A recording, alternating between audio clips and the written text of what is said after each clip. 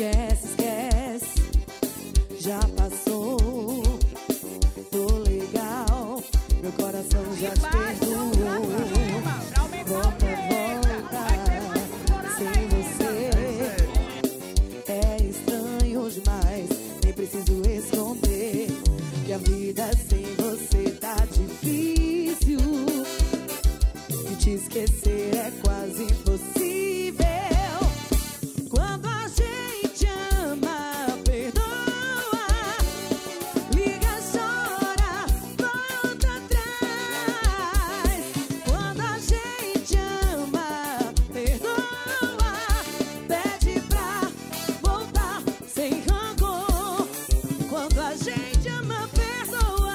E um programa para ter tanto sucesso como Rock and Roll precisa ter boas ideias. E esse Rock and Roll nasceu de uma cabecinha. Essa cabecinha tão abençoada que hoje está no Forró Bodó, tá brilhando. E ela foi a precursora do nosso Rock and Roll e que hoje está aqui junto comigo fazendo essa grande festa e me ensinando muito ainda, já que só tenho a parabenizar e agradecer por tudo que você fez por mim, fez pelo and Roll e continua fazendo pelo Forró. Obrigado, Jaque. É, hoje é um dia muito feliz realmente, porque assim, vocês não têm ideia de como rock and roll é importante na minha vida, porque através dele, através dessa marca, a minha vida foi completamente transformada, né? Eu vinha num momento super difícil, eu estava desempregada, eu vinha de um programa infantil, quando de repente colocaram na minha cabeça essa coisa de fazer um programa de forró. Eu, programa de forró, como assim? Eu que sempre fui muito roqueira e tal. E aí foi quando eu pensei, não, dá pra se fazer sim, o forró é um ritmo super bacana que agrada a todo o Brasil e a gente pode botar uma atitude aí. Foi quando surgiu realmente essa ideia de fazer um rock and roll, né? Assim, quando surgiu essa ideia, Deus também mandou muitos anjos na minha vida, porque logo de cara, é, o Hernânio Paiva, que é um grande diretor, hoje, ele, ele já era, mas hoje então ele é considerado um dos maiores diretores do Brasil, acabou de ganhar um prêmio da Globo, dos melhores do ano. Então, assim, na época ele me ajudou, ele que fez assim todo o piloto do programa Rock and Roll que me deu porque eu não tinha como botar no ar, mas ele me deu todo o suporte, né? Então, assim, a partir dele surgiu a grande parceria com a Três Entretenimento, né, que foi realmente o grande parceiro, o primeiro parceiro do Rock and Roll.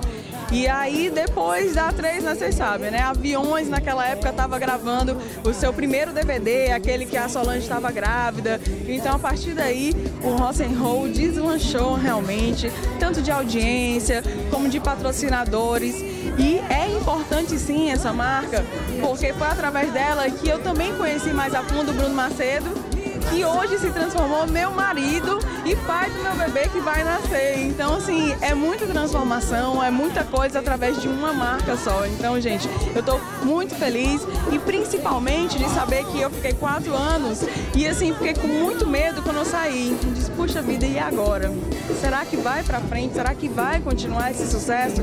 E, assim, Deus foi muito bom também porque botou outro anjo na minha vida, né? Que foi o Charles Feijó, esse profissional maravilhoso, além de lindo, né? Ele tem assim um talento sensacional, é um cara humilde que escuta, que aprende a cada dia e tá aí, o sucesso tá aí, todo mundo tá vendo, a cada semana um, um programa melhor do que o outro, a audiência continuou sensacional. Então, Charles, nós estamos de parabéns, né? Deus continua realmente nos ajudando e falar de Rock and Roll é, eu não posso deixar também de, de falar, de agradecer Sônia Paula, toda a galera da SP Digital, o senhor Leonardo, muito obrigada também, que foram outros anjos na vida do Rock and Roll, enfim, muito obrigada a todos vocês que me ajudaram, que nos ajudaram e principalmente a vocês artistas, vocês empresários e vocês, lógico, nossos telespectadores.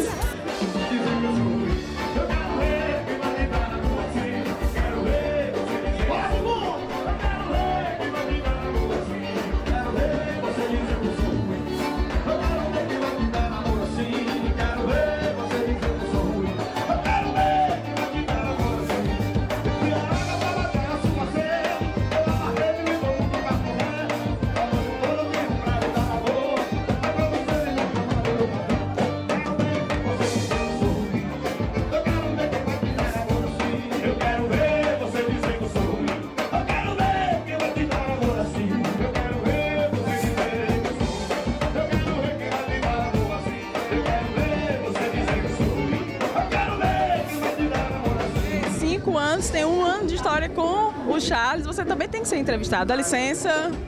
Dá licença, porque eu vou voltar à minha origem nesse é, momento, né? Matando a saudade aqui. Matando a saudade aqui do meu roça and roll, coisa linda. Mas, gente, olha, vou mesmo entrevistar o grande Charles Feijó, né? Porque, assim, desde quando a gente descobriu o Charles, ele foi muito bem aceito pela TV Diário, que isso é muito importante também. Garcia Júnior, nosso consultor, a nossa coordenadora, Ana Cláudia, se apaixonaram. Sério, rapaz, esse daí tem cara, ele tem cara de roça and roll. Então, Charles, eu queria te perguntar o seguinte, como é que foi a primeira sensação, assim, quando a gente te chamou e disse, Charles, o que, é que você acha? Faça essa matéria aqui de teste. O que, é que você sentiu naquele momento? Como é que foi? É, já como eu não tinha tanta experiência, eu achei que fosse brincadeira, eu achei que não, não, isso não era verdade, pô, apresentar um programa, não estava nos meus planos. Mas, cara, aí, aí o Bruno Macedo conversou comigo, eu não conhecia. Aí ele me levou assim, não, mas vem aqui, vem falar aqui com essa pessoa. Aí abriu a porta do carro, tava a Jaqueline. Aí eu pronto, eu tremi na base. Aí eu falei, poxa, é sério o negócio mesmo, eu vou mesmo. Aí a gente foi lá, conversamos e fomos gravar logo numa viagem Primeira banda que eu entrevistei foi banda Calypso, aquele nervosismo. Por coincidência, é... eu também, no Roll, a primeira grande banda que eu entrevistei foi também Calypso. Pra você ver, né? que coisa, que coisa. E o primeiro programa que eu apareci na TV Diário foi o Roll há muitos anos atrás, uma participação, numa, numa brincadeira que a Jaque fez com o Forro Real, desde o hospital que eu tava lá participando, uma coisa totalmente avulsa. Foi a primeira minha, minha primeira participação no Roll e na TV Diário. E hoje está aqui à frente, né? Foi, foi, foi bem interessante. Isso, é isso, já que foi uma emoção muito grande. Depois eu entrevistei Garota Safada, Capim Cubano, tudo em um dia só, foi um dia de muita emoção e que rendeu muitos frutos, né? Hoje a gente está aqui é, curtindo um ano que eu já estou à frente do Rock Roll, o tempo passou muito rápido, mas que é uma emoção fora de série, tá podendo ter esse reconhecimento hoje de um ano. E eu fico muito feliz e quero estar muito tempo ainda no Rock Roll e vendo muitas coisas acontecerem ainda.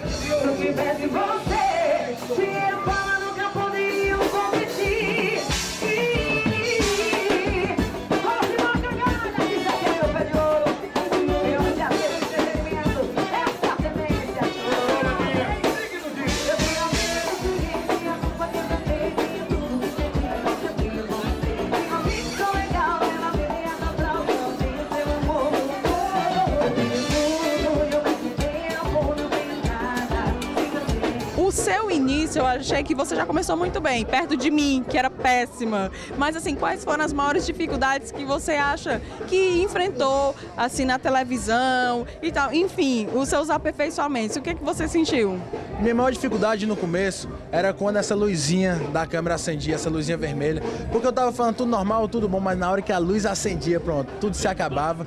E eu tava, e eu tava do lado de um som tendo que falar alto, gritando. Assim, eu não tinha essa adaptação de falar perto do som. Então isso foi minha maior dificuldade, era falar perto do som. E quando essa bendita luzinha acendia, que hoje, graças a Deus, é minha amiga, hoje, graças a Deus, tá, tá me ajudando muito. Mas qual foi a matéria mais inesquecível que você fez até hoje, durante esse período que você tá no Rock'n'Roll? É claro que a mais inesquecível foi a primeira, claro, lá em Marco. Vendo a Jaque me chamou no palco, eu vendo o pessoal gritando, chamando, assim, aquele negócio, nossa isso é televisão, né? O que é isso? E entrevistando bandas consagradas, que era a banda Calypso, Garoto Safado. E também, logo depois disso, eu fiz um turnê junto com o Garoto Safado, vendo o sucesso que uma banda daqui, do Ceará, fazia fora.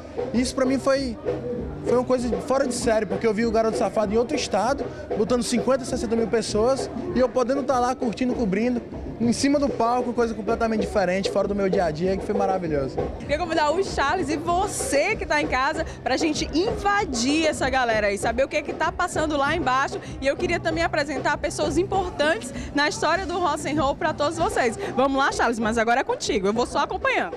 Então vamos com a gente, vamos lá.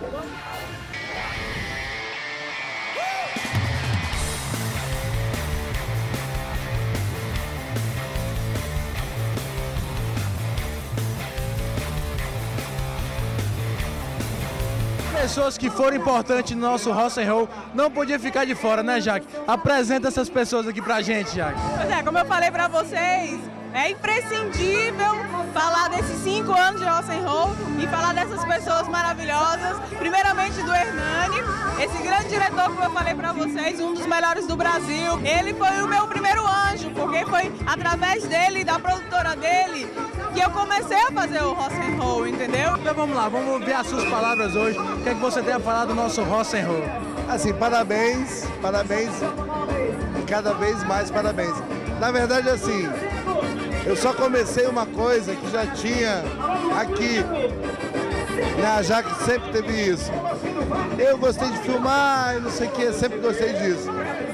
Mas ela tinha isso do Roll, então foi muito bom. E hoje eu estou muito orgulhoso de ver isso, de ver o Roll, do que ele se transformou.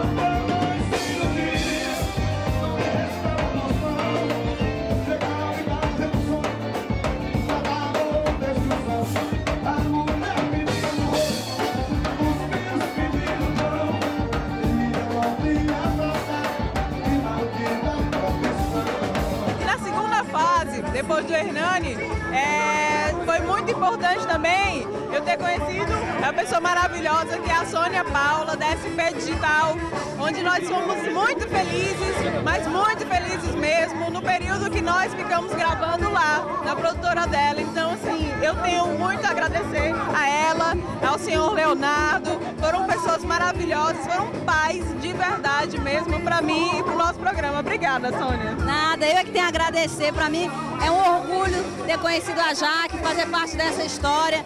É, para mim foi uma, assim, foi até um começo de muita coisa boa que aconteceu na minha vida, na, na vida da produtora. Com a Jaque eu aprendi muita coisa. Meu filho também, Gabriel, não posso deixar de falar do Gabriel. Não está aqui hoje, mora fora, mora em São Paulo. Mas olha, aprendeu muito com a Jaque. Parabéns pelo seu trabalho também, viu? Continua muito bom.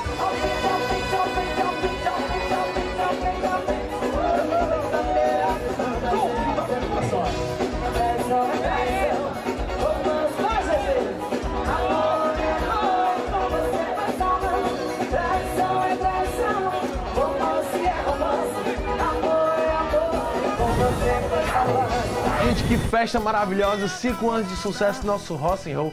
Queria agradecer a todo mundo que esteve presente, que está aqui agora junto comigo, que acompanha o meu trabalho, o trabalho desse programa maravilhoso. Meu amigo Jean da Eurocópias, Júnior da Cult Mídia, Eugênio Braz e toda a família Braz, Beatriz da Cake Design e meu amigo George da G Balões. Fiquem com Deus, até a próxima quarta. Fui! Olha, mulher, não jeito, eu sou cachorro. Mas já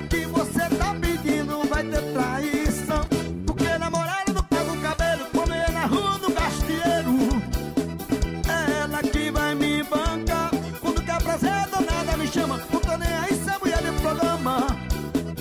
É hoje que eu vou me acabar. Eu vou pra ousadia, eu vou pra cachorrada. Hoje eu quero trair a minha namorada. Eu tô cansado de caô, eu tô caçando em casa. Eu vou